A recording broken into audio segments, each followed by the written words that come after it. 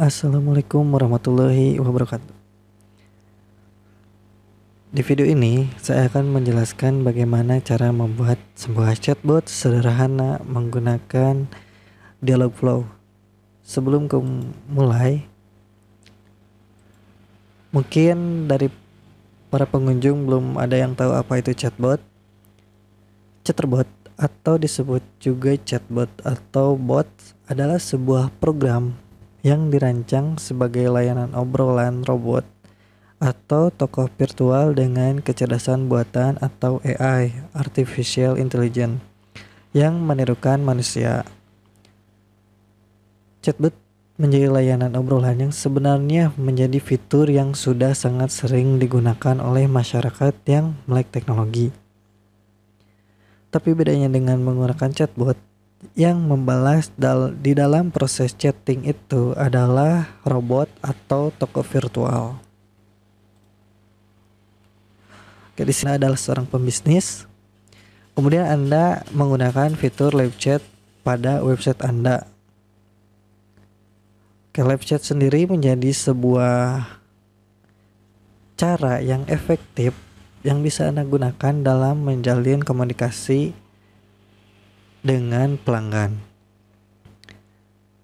Tapi bagaimana jika Anda berhadapan pada situasi seperti mendapatkan banyak pertanyaan atau permintaan dalam waktu sekaligus, pasti akan sangat merepotkan sekali. Sebenarnya kondisi yang kondisi ini bisa diatasi dengan merekrut banyak pegawai. Hanya saja opsi tersebut belum begitu tepat untuk Anda yang masih belum memiliki modal yang kuat. Ada satu solusi yang bisa Anda gunakan atau coba dalam mengatasi hal ini, yaitu menggunakan bantuan teknologi yang bernama chatbot. Walaupun sebetulnya chatbot belum bisa menggantikan peran manusia sepenuhnya. Akan tetapi teknologi ini cukup efisien untuk memudahkan Anda dalam respon pelanggan dalam sementara waktu.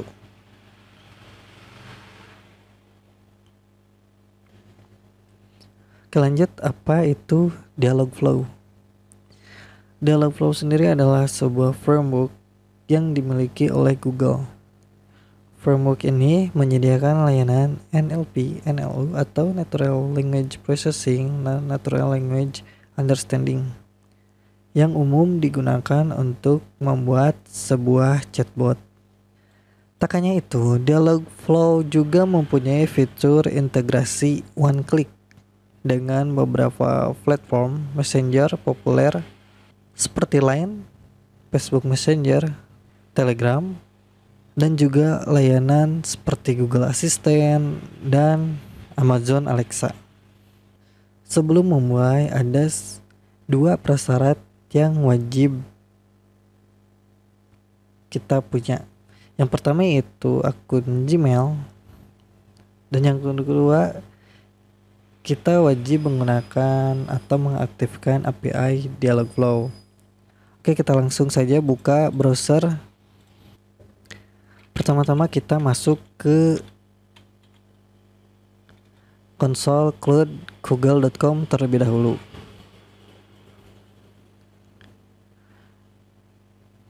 Kemudian di sini pilih menu API, PISN API Service. Oke, lalu pilih menu library. Kemudian di sini cari Dialogflow.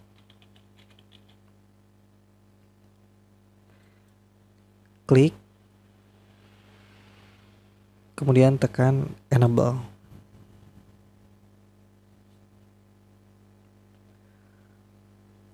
tunggu hingga proses enable selesai oke sudah selesai oke selanjutnya kita buka konsol dialogflow.com untuk memulai menggunakan dialogflow oke untuk pertama-tama mungkin rekan kalian akan melihat tampilan term of service dari Google. Kalian bisa checklist yes I have read and accept the agreement. Pilih accept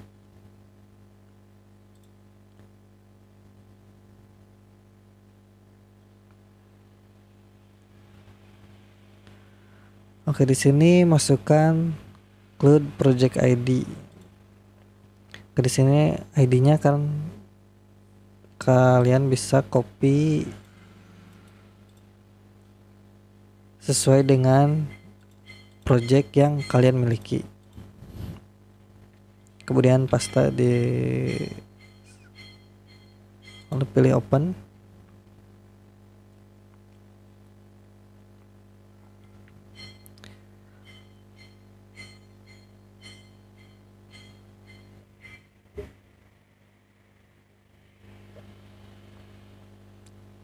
tunggu hingga proses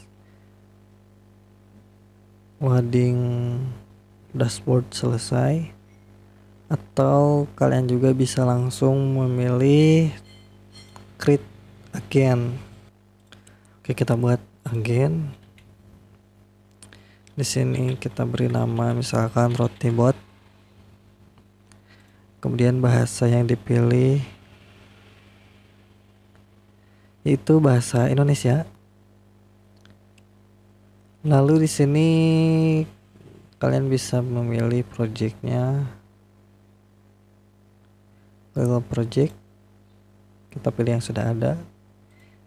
Jika belum ada, kalian bisa memilih create a new Google Project. Kemudian pilih create.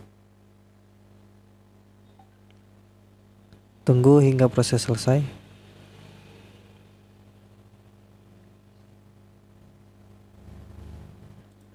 Di sini langsung diarahkan ke menu intense. Intense pada dialog flow merupakan pemetaan pertanyaan yang akan ditanyakan ke chatbot yang kita Oke, misal di sini kita coba buka misalkan kita buka default welcome intent. Oke, di sini ada training press. Contohnya di sini halo yang di sana. Nah, ini untuk penggunaan intens.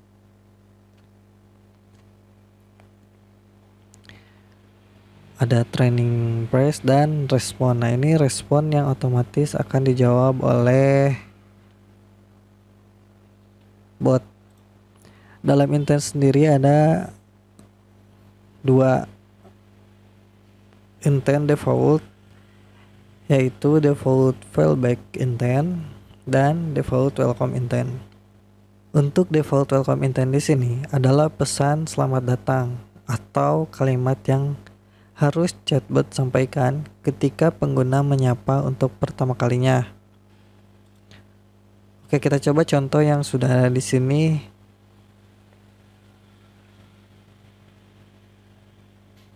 Kalian bisa mencoba dengan halo yang di sana, halo, hai, salam, halo, halo dan sebagainya.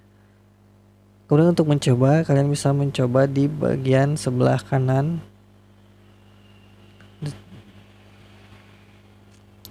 Yang ada tulisan try it now. Kalian bisa tulis misalkan hi. Nah, dialog flow akan otomatis menjawab hi karena di sini responnya ada hai, halo, selamat siang dan salam. Kita coba assalamualaikum.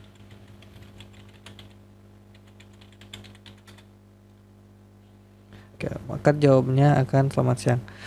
Respon ini sendiri akan otomatis secara acak dipilih oleh dialog flow atau bot.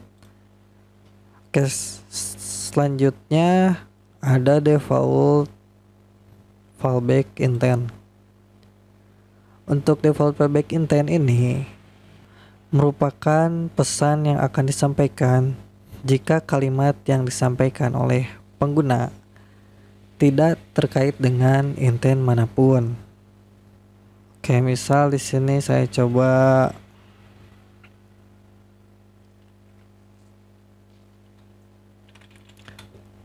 Sekarang saya coba tulis beli di sini akan otomatis saya tidak mengerti.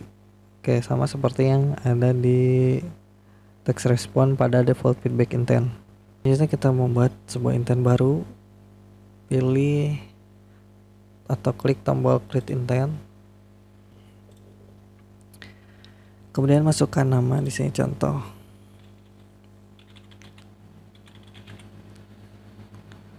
Saya akan memberi nama open roti.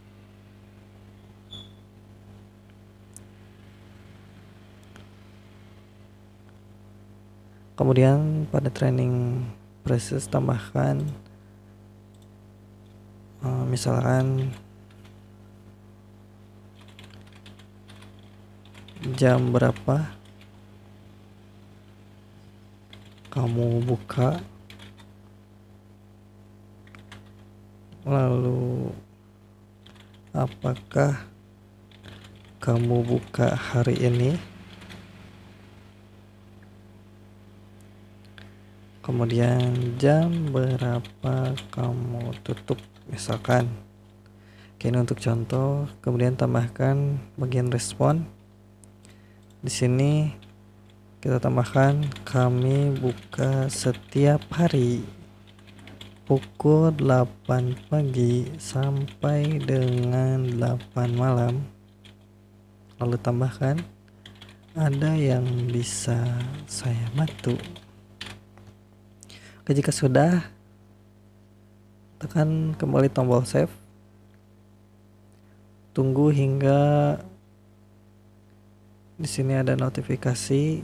Nah, agen training complete.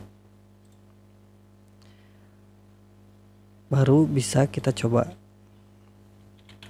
Kita coba jam berapa kamu tutup Oke, otomatis akan membalas kami buka setiap hari pukul 8 pagi sampai dengan 8 malam. Ada yang bisa saya bantu? Oke, selanjutnya kita ke menu entity. Kita ke menu entity. Oke, entity di sini uh, saya gunakan untuk menyimpan. Di sini ada rasa dan juga ukuran yang di mana rasa ada memiliki tiga entity yaitu coklat, strawberry dan keju. Kemudian ukuran ada kecil, sedang dan besar.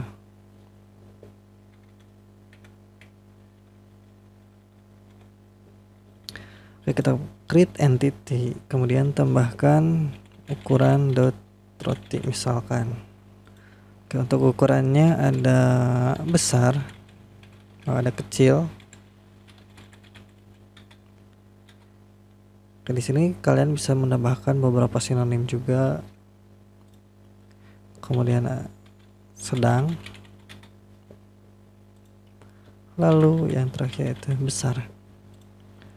Kita save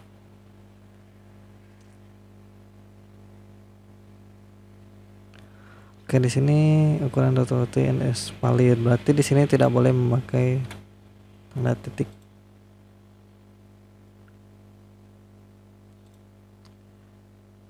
Kita coba save. Oke selesai. Kemudian untuk entity satu lagi yaitu rasa dari roti-roti yang dijual. Rasa roti misalkan di sini ada tadi ada coklat kemudian ada strawberry.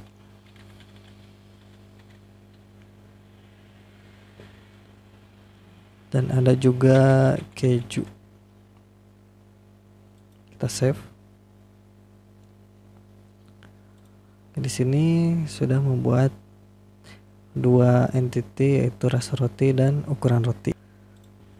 Kembali ke intent lalu pilih create intent Sasa, sekarang kita akan membuat sebuah intent baru yang bernama pesan. Pesan roti yang bernama pesan roti. Oke, di sini kita coba training prestasi tambahkan. Saya ingin memesan roti. Roti strawberry ukuran besar.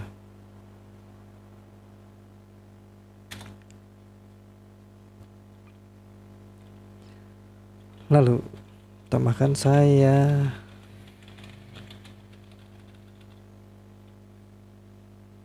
Hmm, saya ingin roti kecil rasa coklat.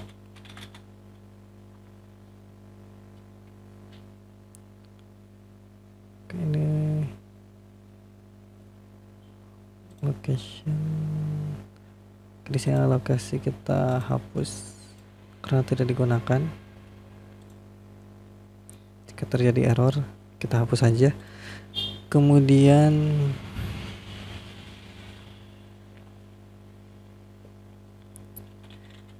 bisa saya memesan roti, roti keju ukuran kecil dikirim hari ini.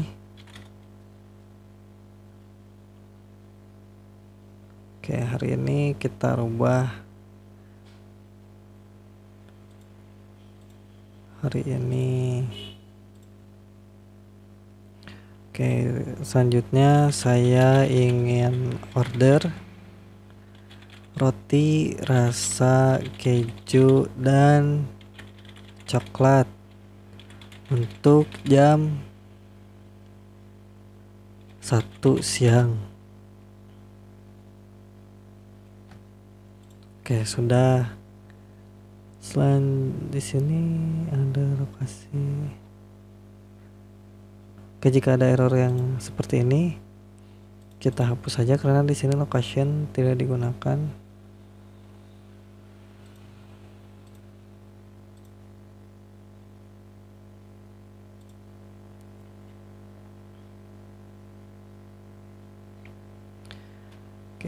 Untuk dialog flow sendiri otomatis mendeteksi parameter sehingga tadi di sini roti itu dideteksi sebagai location padahal itu bukan location sehingga jadi error.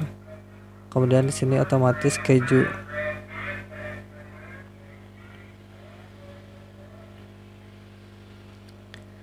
Kemudian ini keju dan coklat juga. Otomatis terdeteksi sebagai parameternya yaitu entitas rasa roti dan juga untuk jam satu siang itu otomatis ke date time. Nah, di sini kita rubah jam satu siang itu rubah ke time saja. Oke. Kemudian untuk hari ini hari ini kita ubah ke date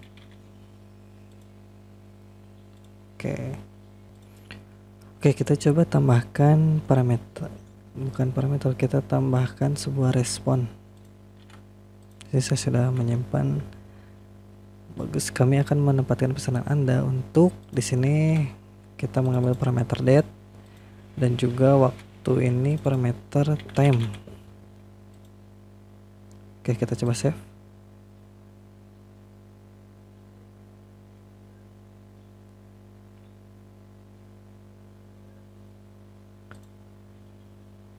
Oke, selanjutnya kita selanjutnya kita tes. saya akan mencoba tes yang saya ingin order roti jam 1 siang. Kita coba tes. Oh, ternyata tidak tersedia.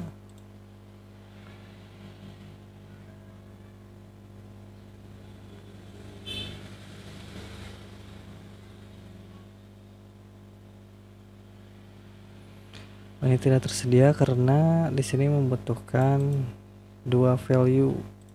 Sedangkan untuk date ini tidak mendapatkan value-nya. Karena di sini kita mengambil value date dan time. Berarti di sini kita tambahkan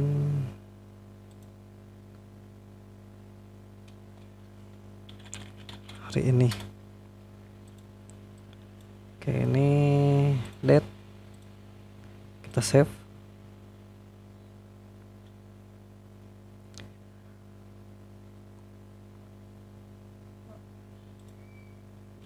Kita coba kembali. Training complete. Oke. Okay. nah otomatis tersedia. Oke selanjut oke seperti yang sudah kita coba tadi ketika si value yang akan dipanggil di sini tidak terpenuhi maka default responnya itu tidak ada. Nah, bagaimana cara mengatasi hal tersebut? Karena bukan tidak mungkin si pengguna hanya akan memberikan satu value setiap jawaban.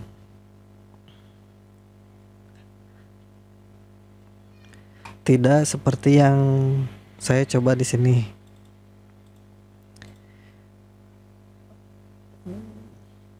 Bagaimana cara mengatasinya? Kalian bisa menambahkan action and parameter di sini.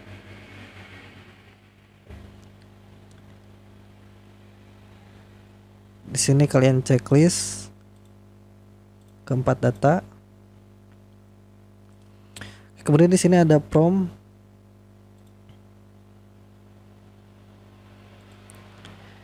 Klik define prompt. Di sini rasa roti. Kita tambahkan rasa apa yang kamu inginkan. Oke lanjut ke ukuran roti ukuran roti apa yang kamu inginkan?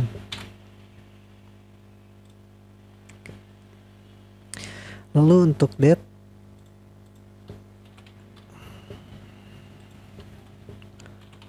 Untuk hari apa? Misalkan. Dan untuk time kita tambahkan jam. Untuk jam berapa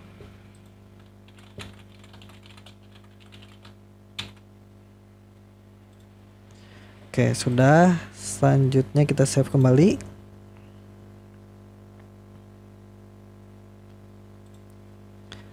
Oke kita coba kembali um, saya ingin kita coba dari high oh high tidak ada.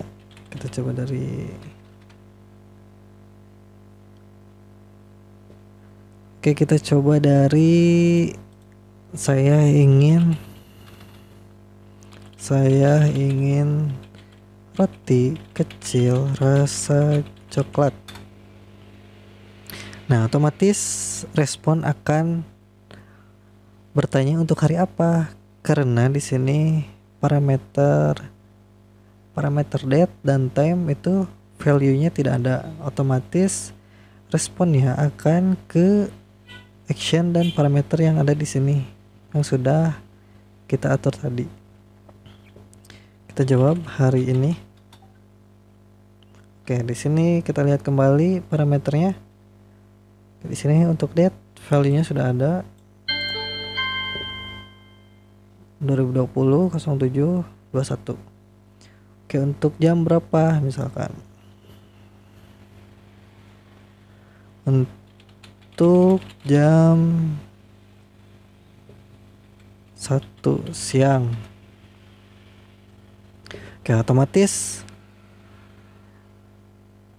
responnya akan kembali ke default respon. Yang ini bagus. Kami telah membuat menempatkan pesanan anda untuk bla bla bla bla dan sampai jumpa. Oke ya. Untuk ukuran roti dan rasa roti itu belum terpanggil karena kita direspon di sini. Kita hanya menggunakan parameter date dan time saja. Kita tinggal menambahkan parameter rasa roti dan ukuran roti untuk menampilkan di respon. Kita coba. Kami telah menerima pesanan Anda berupa roti ukuran kita di sini ambil ukuran roti dengan rasa misalkan dengan rasa roti untuk kita ambil lagi yang date dan time. Oke, kita coba save. Oke ini uh, akan random ya. Jadi belum tentu kita langsung mendapatkan balasan yang nomor 2 untuk itu kita hapus terlebih dahulu saja yang nomor satunya supaya yang ini menjadi default. Kita coba. Saya ingin roti rasa keju. Ukuran roti apa yang kamu inginkan? Kita masukkan kecil. Kemudian untuk hari apa hari ini? Untuk jam berapa? Jam 1 siang Oke, kami telah menerima pesanan Anda berupa roti ukuran kecil dengan rasa keju untuk sekian sekian sekian.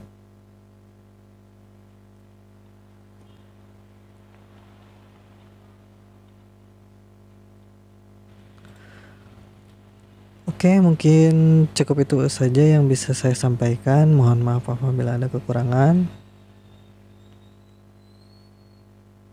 Jangan lupa untuk subscribe dan berikan komentar. Terima kasih. Wassalamualaikum warahmatullahi wabarakatuh.